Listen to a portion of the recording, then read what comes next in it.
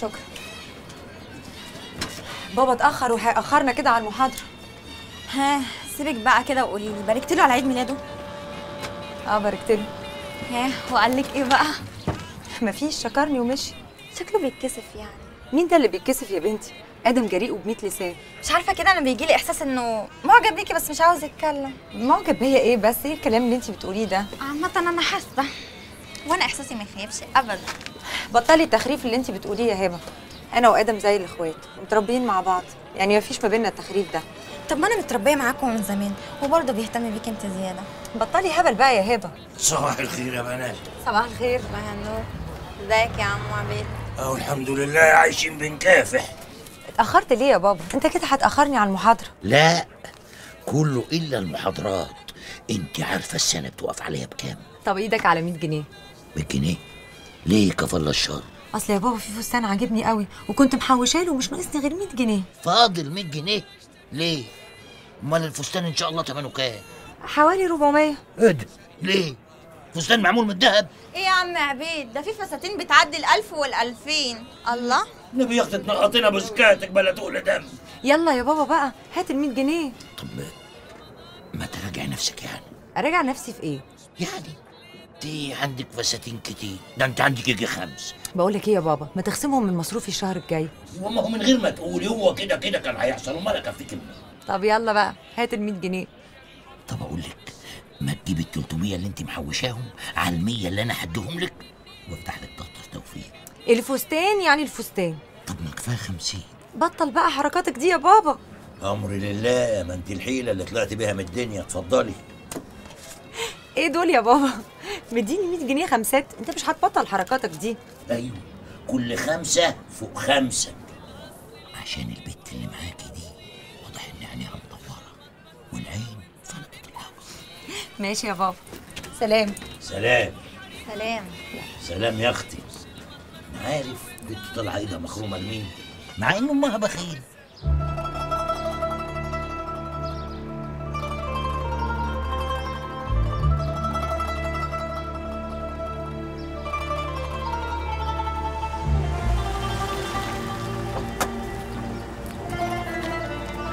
سلام انت يا عوض على تليفون.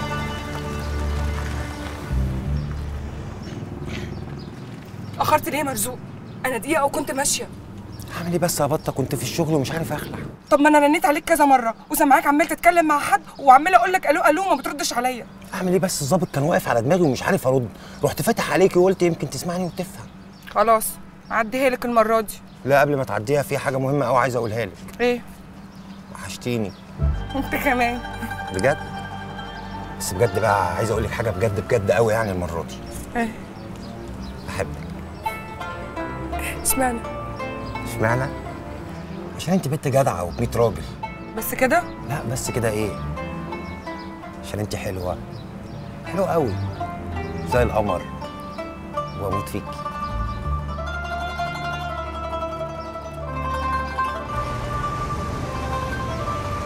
إيه رايكم بقى يا شطنزات في عربيتي الجديدة؟ واللون الأبيض إيه؟ special order ما شاء الله يا معلم. مش لسه مغير عربية الشهر اللي فات؟ كل شهر بتغير عربية جديدة. الله أكبر. في إيه يا عم أنت؟ أنا العربيات دي هوايتي وبعدين دي لعبة الكبار.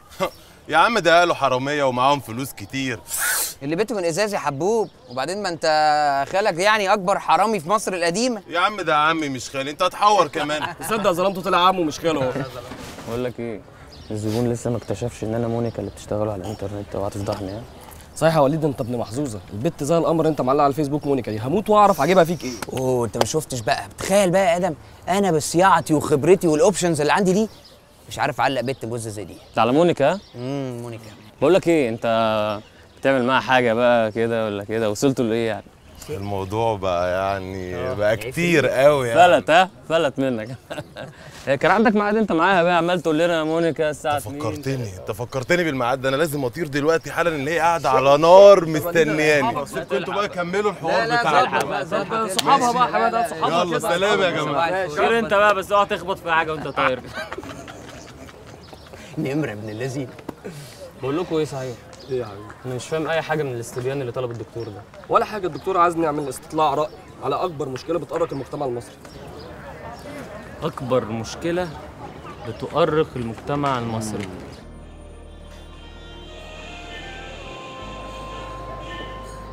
أهلا وسهلا أهلا بيك إزيك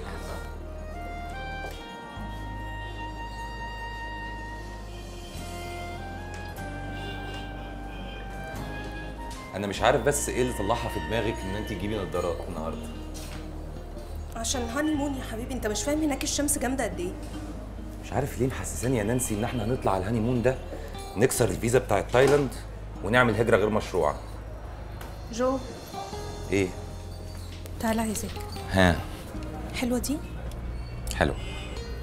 طيب. ودي؟ برضو حلو.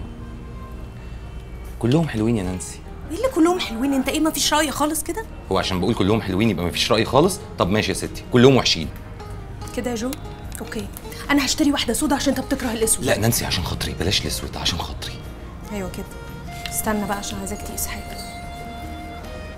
تعملي إيه؟ قيس دي كده. ها حلوة؟ حلوة قوي حلوة قوي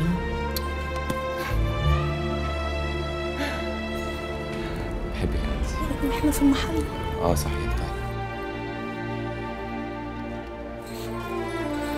اتفرج بقى على شوية حاجات جوه.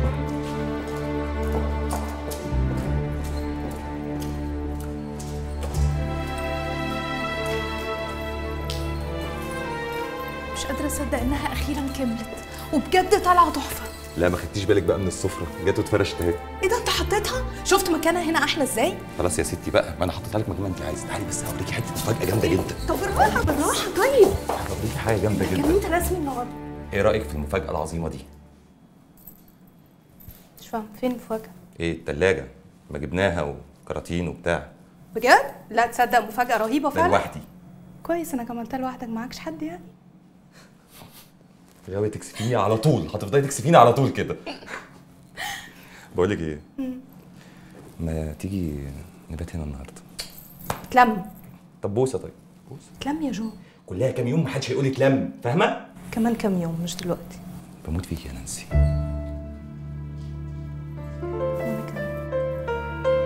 حلوة التلاجة.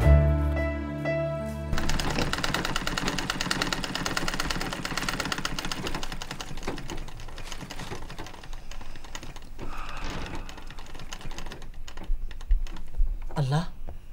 ما رحتش شغلك ليه يا عامر؟ ماليش نفسي أروح النهارده. مالكش نفسي يعني؟ إيه هي رحلة. يعني هروح أعمل إيه؟ بروح آكل سندوتشات وأشرب في شايات وأنام على زمايلي. يعني إيه؟ مفيش حاجة مهمة. طيب قول الحمد لله بقى إنك أنت مش عاطل. أنا عاطل برضو. عاطل يا صبرا بس بمرتب. طب احمد ربنا بقى إنهم بيدولك مرتب على كده. أنا داخل أنام ابقوا صحوني على الفطار. يا ابني أنت ما زهقتش نوم؟ يعني عايزاني أعمل إيه؟ يا صبرا تشوف لك أي شغلانة بعد الظهر تزود دخلك تضيع وقتك. شغلانة؟ أنا فاضل لي أربع سنين ويبقى عندي خمسين سنة. شغل إيه اللي هيقبلني دلوقتي في السن ده؟ وحتى لو قبلوني عاوزين شهادة خبرة صبر. وانت عارفة أختي. الحكومة ما بتديش خبرة. أيوه يا حبيبي. بس يعني ما نفسكش تتجوز وتخلف زي ما خليق ربنا. اتجوز؟ انت بتقولي أحلام يا صبرا. الأحلام دي من كتر ما طولت معايا. بقت كوابيس. والله بقت كوابيس يا صبرا. بقوم مفزوع منها طول الليل. أنا بقوم بلاقي دمعتي على خدي مش حاسس بيها. سايق عليك يا صبرا سايق عليك ما ما تقلبي على المواهب هبقى كويس. هبقى كويس يا صبرا